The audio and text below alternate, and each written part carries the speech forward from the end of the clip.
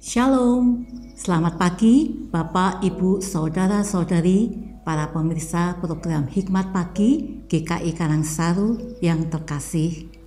Kiranya berkat dan damai sejahtera dari Tuhan menyertai kita semua. Renungan Hikmat Pagi pada hari ini akan dibawakan oleh Saudari Eva Celia, tetapi sebelum mendengarkan kebenaran firman Tuhan, marilah kita bersama-sama berdoa. Bapa kami yang ada di surga, puji syukur dan terima kasih karena pemeliharaan hidup kami dari hari ke hari hingga pagi hari ini.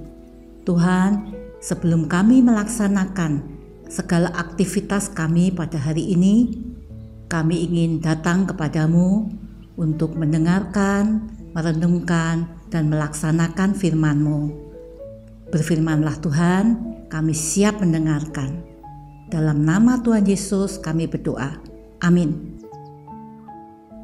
Tema hikmat pagi pada hari ini adalah selalu ingat dan waspada. Firman Tuhan diambil dari Matius 13 ayat 43 yang berbunyi demikian. Pada waktu itulah orang-orang benar akan bercahaya seperti matahari dalam kerajaan Bapa mereka. Siapa bertelinga, hendaklah ia mendengar. Demikian sabda Tuhan, syukur kepada Allah. Selamat pagi Bapak Ibu Saudara yang dikasih oleh Tuhan Yesus Kristus. Saat ini kita akan merenungkan akan kebenaran firman Tuhan. Eling lan waspodo merupakan petuah kearifan Jawa yang berarti ingat dan waspada. Petua ini lengkapnya berbunyi sak bejo bejone wong kang lali ise bejo wong eling lan waspodo yang berarti seberuntung beruntungnya orang yang lupa masih beruntung orang yang ingat dan waspada. Petua kearifan Jawa ini dengan bijaksana mengingatkan bahwa orang yang lupa dengan jati dirinya sebagai ciptaan Tuhan serta hidup mengandalkan dirinya sendiri terkadang juga mendapat keberuntungannya. Akan tetapi, keberuntungannya tidak akan sebesar keberuntungan orang yang selalu ingat kepada Tuhan dan yang menjaga hidupnya dari segala kejahatan. Karena keberuntungannya, orang yang dekat dengan Tuhan itu bernilai kekal. Sejatinya, Tuhan Yesus Kristus juga kerap memperingatkan murid-muridnya untuk ingat dan waspada, baik terhadap nabi-nabi palsu atau dalam Matius 7 ayat 15 maupun terhadap ajaran orang Farisi dan Saduki. Matius 16 ayat 6 dan 12. Karena orang-orang jahat dan munafik seperti merekalah yang membuat umat percaya tidak eling lan waspodo menjelang akhir hidupnya di dunia. Ketika bergumul dalam doa di Taman Getsemani dan mendapati murid-muridnya sedang tidur, ia berkata kepada Petrus, setelah itu, ia kembali kepada murid-muridnya itu dan mendapati mereka sedang tidur, dan ia berkata kepada Petrus, "Tidakkah kamu sanggup berjaga-jaga satu jam dengan aku? Berjaga-jagalah dan berdoalah, supaya kamu jangan jatuh ke dalam pencobaan. Roh memang penurut, tetapi daging lemah."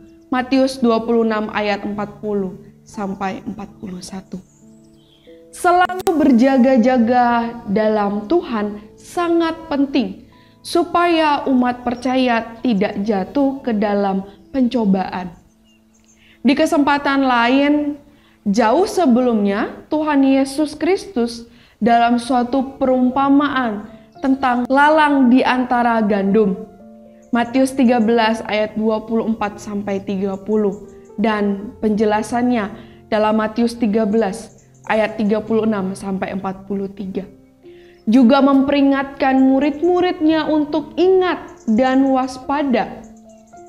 Ia menjelaskan bahwa umat percaya seumpama benih gandum yang ditabur Tuhan di dunia ini.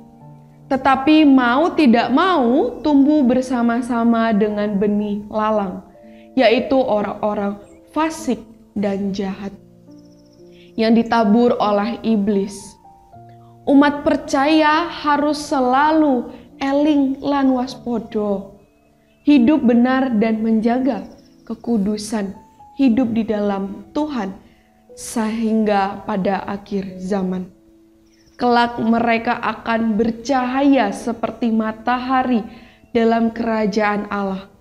Sedangkan orang-orang fasik dan jahat akan dikumpulkan dan dibinasakan dalam dapur api kekal.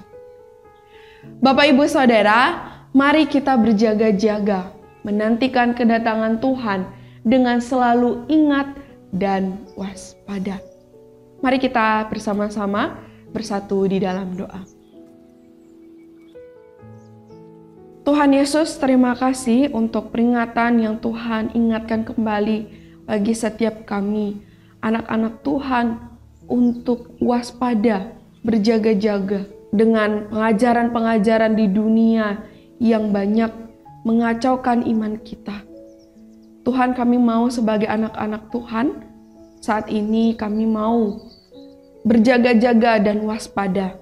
Ajari kami juga ya Tuhan, untuk dapat menjadi berkat bagi orang-orang di sekitar kami, agar kehadiran kami bisa memancarkan kasih penyertaan Tuhan yang nyata di dalam kehidupan kami. Dan saat itu Tuhan, kami mau melanjutkan setiap kegiatan aktivitas kami dalam satu hari ini Apa pun yang akan kami lakukan dan apa pun yang akan kami kerjakan, kami menyerahkan semuanya ke dalam tangan Tuhan.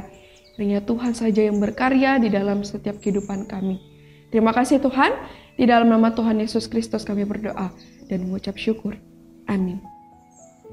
Bapak Ibu Saudara, selamat melanjutkan aktivitas dalam satu hari ini. Tuhan Yesus memberkati kita semua.